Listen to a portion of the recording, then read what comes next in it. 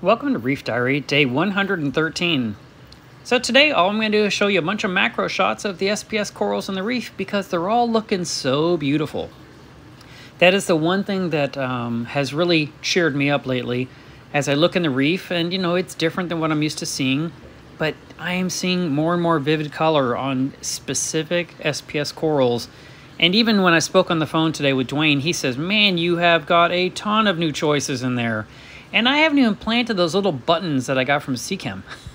I still need to scatter those throughout the tank, like Skittles across my reef, right? So I am really looking forward to seeing where the tank is in about six to nine months. But for now, we're really doing very well overall, considering where we've been and what we've gone through. The sea base still is iffy. I'm not sure what's going to happen with it. I'm hoping it will turn around, but I'm not positive. The algae turf scrubber still looks kind of iffy around the center where I feel it was cooked with a lack of water flow when that pump was dead, but the perimeter's all green, so I think that'll fill in nicely. Water quality seems to be staying stable day after day. I'm not having to worry about that or stress about high nitrate or worry about phosphate. I just everything has come together really, really well, and I'm just happy to have such a healthy reef when it's eight years old.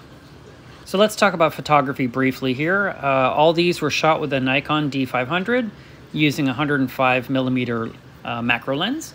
And then after all the images were taken, they were put into Lightroom for post-processing where I clean them up and remove some of the haze and add a little bit of texture and a little bit of, you know, brilliance to make them look really, really good, to make them look like what I see with my eye. I never try to make a coral look fake or unusual or, or alter it or add more um, what is it, vibrance? You know, I'm not looking for that. All I want to do is give you the best representation of what I see in my own tank. Some things are more vivid than others, and to be honest, there's probably 60, 70% of the stuff in the tank I don't even photograph.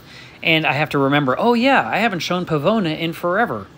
So these are all done freehand. I usually use the tank to stabilize the lens against and I, you know, press the shutter rather than using a remote trigger.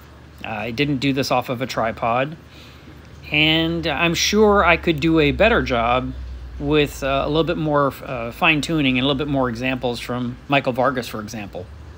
Anyway, that was it for today's Reef Diary, and I hope you enjoyed this. See you tomorrow.